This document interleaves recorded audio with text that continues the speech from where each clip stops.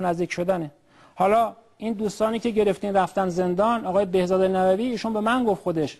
گفت چهار روز قبل از اینکه انتخابات برگزار بشه حکم دستگیری منو گرفتن. آقا حالا فرض کنیم آقای بهزاد نووی که شما میگه کیسینجر عاملش بوده. من سوال می‌کنم از آقای دکتر آقای دکتر کی تا کیسینجر برای ما تعیین کننده شده؟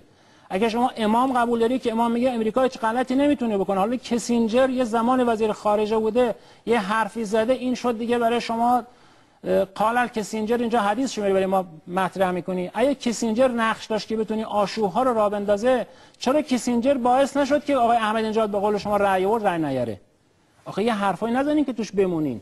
ببین ما یه عده رو گرفتیم کردیم اونجا زندان با معیارهای اسلامی نمی‌خونه. خب مردم معترضن. هم نظر اقتصادی به عمل کرد معترضن هم نظر سیاسی معترضن. ببین امام علی باز مالکشتر میگه از میان مردم کسی را به خودت نزدیک کن که حرف حقی را که تلخ است به تو بهتر و بیشتر بزند. در گفتار و کردارت که خدا برای دوستانت نمیپسندد کمتر تو را ستایش کند. هرچند این کار تو را ناراحت نماید و دلتنگ شوی. آقا مگه این روزنامه هایی که بستین غیر از انتقاد انتقاد تلخ میگیم؟ چیز دیگه می‌کردن کار دیگه انجام می‌دادن. آقای موسوی که به قول شما یه آدمی بود که من در دانشگاه می‌خواستم دانشجو رو ترغیب کنم که بهشون رأی بدن می‌گفتن آقا این نماینده حاکمیت این اصولگراست. آقای موسوی که متهم به یه اصولگرا بود و به اعتقاد من اصولگرا هم هست اصول انقلاب. این آقای موسوی امروز شما تبدیلش کردیم یه کسی که میگن آقا این سران فتنه است. یعنی تبدیلش کردیم به یه ضد انقلاب. آخه این هنر شما اینه هنر حکومت اینه. بسیار عالی. اجازه بدین. میگه از گفتن حق یا رأی زدن در عدالت باز میستید که نه من برترانم که خطا کنم و نه در کار خیش از خطا ایمنم. این امیرالمومنین داره میگه. ما هر اتفاق میفته می‌زنیم تو سر مخالفمون. مخالفمون که نه امکاناتی داره نه رسانه‌ای داره نه ابزاری داره. میگیم همش عاملش اوناست. ولی آقای زاکانی نمیگه آقا من چرا کاری کردم توی این مجلس دولت رو نقدینگی اضافی تزریق کرده توی بسیار جامعه تورم سرساما ما رو خب مردم ناراضی هن. این عدم رضایتون چجوری باید بیان کنه؟ آقای راکانی یه راهکار پیش ما بذار ما مخلص ما میگیم قانون اساسی گفته اصل 27 مردم بیاد اعتراض کنن. ما که اومدیم یه راه بهتری پیشنهاد کردیم. گفتیم آقا شما بیاین نظراتتون رو بگین ما هم نظراتتون رو میگیم. واقعا بذارین مردم از طریق پیامک بگن که چه, چه حرفی رو بهتر قبول دارن. شما الان دارین برنامه بحث هدفمند کردن یارانه ها رو دارین دنبال می‌کنین. این هدف هدفمند کردن یارانه ها در برنامه چهارم توسعه طی فرایند ده سال پیش بینی شده بود. شما در مجلس هفتم این طرح تثبیت قیمت ها رو بردین چون پلکانی سالی 10 درصد قیمت ها افزایش پیدا می‌کرد. گفت این عامل تورم این قدم ساده انگاری کردین که فکر کردین با بخشنامه و با یه قانون میشه جلو تورم رو گرفت. دولت دچار کسی بودجه شد. 8000 میلیارد تومان پول بی پشتوانه چاپ کردین توی بازار اون تورم سرسامه به وجود اومد. بعد الان از این ور گود افتادین در همین مجلس هفتم اقتصاددان مجلس آقای صبحانی اومد صحبت کرد.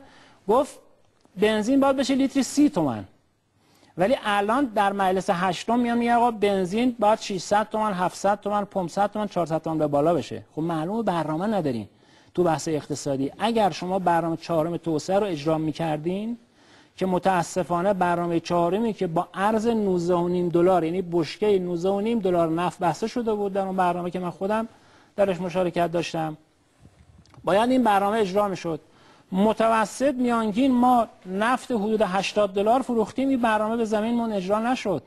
و اگر اون اجرا می‌شد شما الان می‌خواین هدفمند کردن یارانه ها رو اجرا کنین خب قطعا این با مشکل مواجه میشین. بسیار علتش هم چیه؟ علتش هم نداشتن برنامه است نداشتن طرح و اینها مردم رو عصبانی می‌کنه. من میگم آقا مردم نسبت به سیاست اقتصادی شما بحث پیچیده هم نیست. دیگه هر روز طرف می‌خواد پول بده بخره بیاره داخل خونش زندگی بکنه. با زندگی روزمره مردم سر کار داره. ما آقا ملت با این اعتراض دارن انتقاد دارن. چجوری باید انتقادشون رو منتقل کنن؟ روزنامه منتقد که میبندین. اجازه راهپیمایی هم که نمیدین. اجازه اجتماعات هم که نمیدین. ما باید چیکار کنیم تو این کشور؟ آقای زاکانی توضیح بدن ما چیکار کنیم؟ راه یه راه حلی رو پیش ما بذارن. بیننده رو به فردا هستید. آیه دکتر اطاعت فقط من شما بالاخره نکاتی یادداشت کردین باید پاسخ بدید. منتها من خیلی علاقه مندم بالاخره یه بحثی به یک سرانجامی برسه بویژه راجع به انتقادی که شما از وضعیت اقتصادی داشتید و بحث یارانه ها و اینها. اگر روی این هم مستوفا توضیح بدید خیلی عالی بله. خدمتتون از کنم ببینید طرح تثبیت قیمت ها که دوستان در مجلس هفتم آوردن اتفاقا به خاطر جلوگیری از همون افزایش ده درصد بود که مشکلاتی رو برای کشور به بار آورد. و اونجا هم در برنامه چهارم سرجم همه یارانه ها بود که در طی فرایند پلکانی این کار صورت بگیره.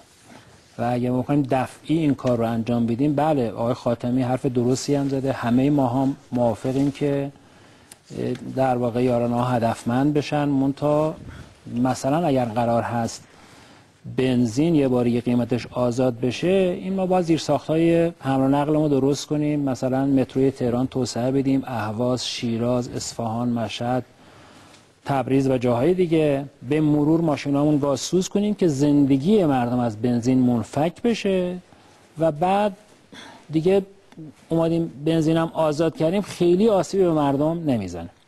خدمتتون عرض کنم. نماینده مجلس بودید الان این مجلس هشتم.